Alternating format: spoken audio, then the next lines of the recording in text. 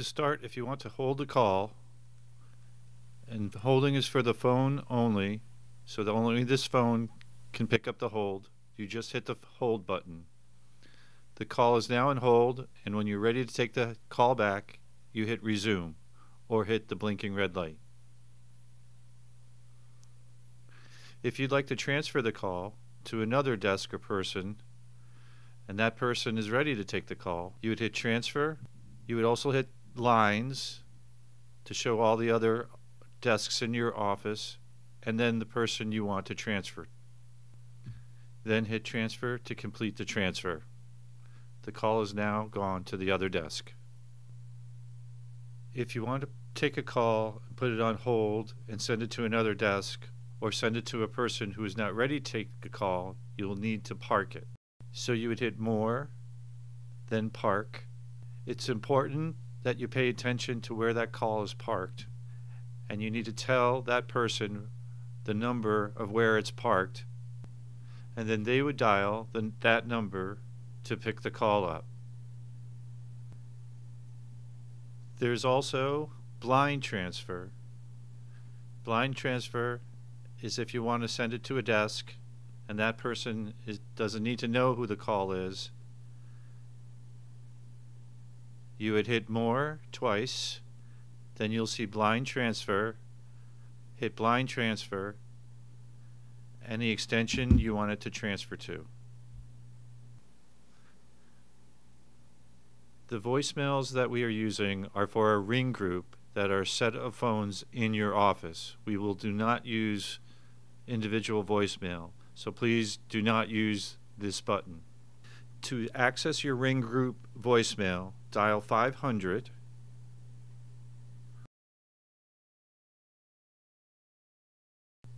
To set up your voicemail, you will then press 2 You're only going to want to press 3 for your external greeting. We do not use any of the other greetings. If I ask you to set up a contact that we can then access your phone from the computer side, you would go to the Home button, navigate to Directories, hit 1 for Contact Directory, and then you can add whomever you'd like and that will set a speed dial on your phone. If you need to reset your phone, hit the home button, go to settings, hit select for basic, then scroll down to number 7 for reset phone. Hit the button again and it will reset the phone for you. This is the Polycom setup. This is the main body of the Polycom unit with an LCD panel and keypad. I'm just going to show you the basics of wiring and setting this up. This has an adjustable back which has three slots. You take this plastic piece and you can place it into any one of these three slots depending upon the height and adjustment that you like the angle of the phone to be. It clicks in and pulls out. Behind the, the body of the uh, Polycom unit, you have your power, Ethernet, and phone sources. The power is this adapter, which will be plugged in, and needs to be plugged in, and only fits in the one round port. The phone set, headset, has a small phone connector and should be placed into the phone connector's adapter. The other one has a headset and that could be as if you do get a wireless or a headset for these phones. But in this case the handset gets plugged into the one that looks like an icon of the handset. The two in the middle, one is for a computer extension some of your computers may go to this. We use this as a switch and the internet gets plugged into the first one until you hear it click. And that is the Polycom phone system.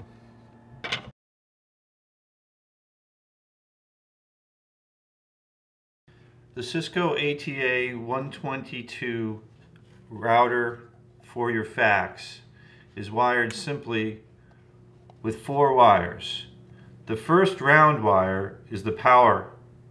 The second is the connectivity to the internet. The third is the connectivity to another device say your copier, your printer, and your fax. The fourth is the telephone connector that connects between this box and your fax device.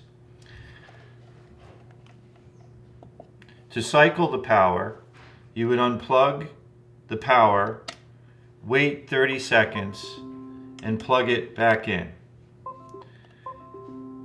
It will then re-register and you should have all three lights, the phone light, the internet light, and the power light illuminated. It may take a minute to reinitialize and when all three lights are lit you'll know you'll have connectivity to your fax. Now that all three are illuminated, the internet is flickering, we know we have connectivity. Now once again, we want to make sure that our phone line is connected to the back of the fax machine. And we'll show you that in a minute.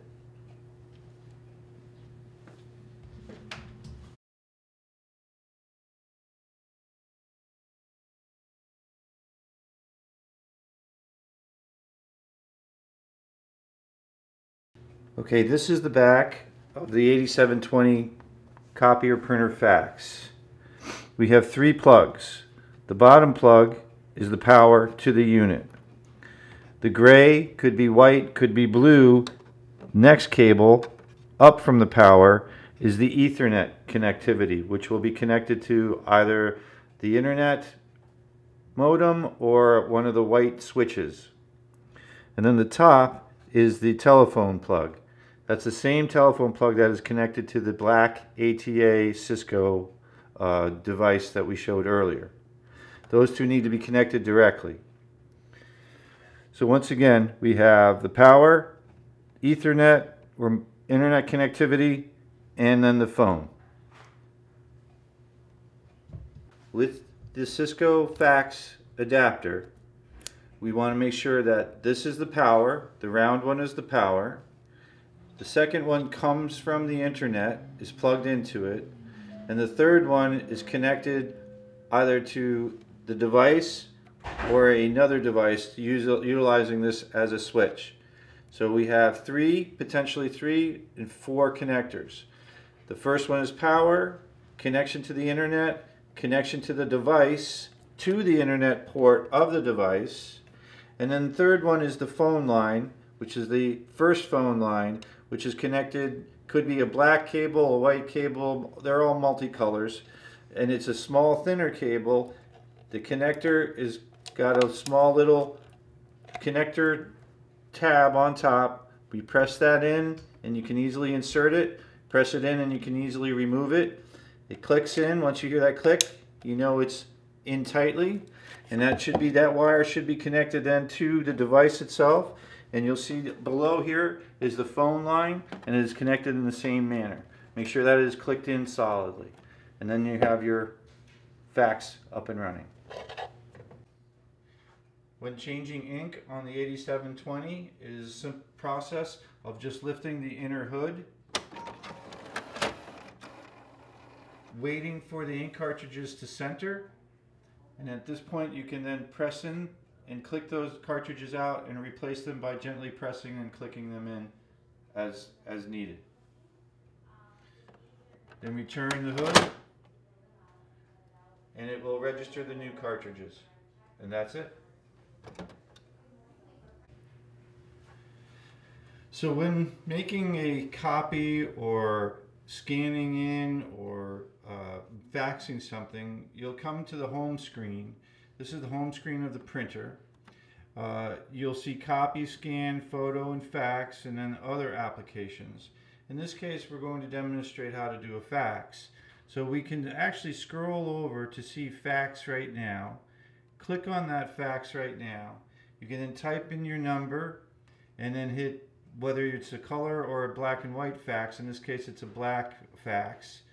Or if you wanted to, you could go to the, the address book and you can add somebody or select somebody from your address book.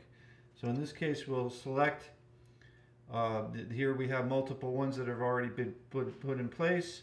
We could select any one of these and the fax would then go to that particular uh, destination. If I hit my home key back, I'm back to the main screen again.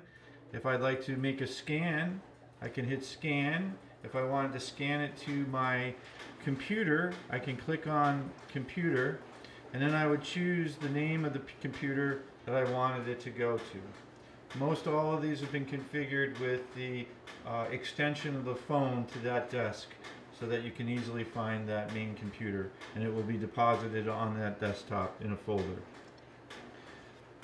If you wanted to scan to a USB, you can do that as well. You would place the USB into the side USB port of the printer, located right below the logo and the label, and uh, you would be able to scan right to that USB device. If you are scanning to email, uh, there is some configuration that needs to be done for scanning to email. The uh, the unit has to be programmed with the outgoing server. Uh, if that has not been done, um, please contact us.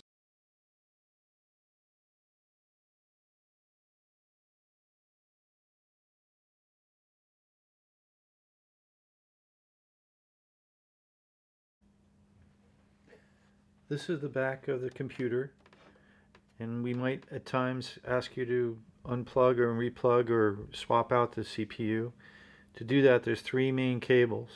The top one, which is the display adapter cable, it is a special shape with an edge cut out. Am I too close? With an edge cut out and only goes in one hole. It's the second hole down from the top. Second is the Ethernet plug. The Ethernet plug has a tab you press in, can pull out or insert. That is for the network and for the internet connection. Next to that is a small dongle. This is the wireless communication adapter for your keyboard and mouse. And at the bottom is the power plug. This is a standard three-prong power plug. Make those connections nice and solid Hear the click, make sure they're in tight, and you're good to go.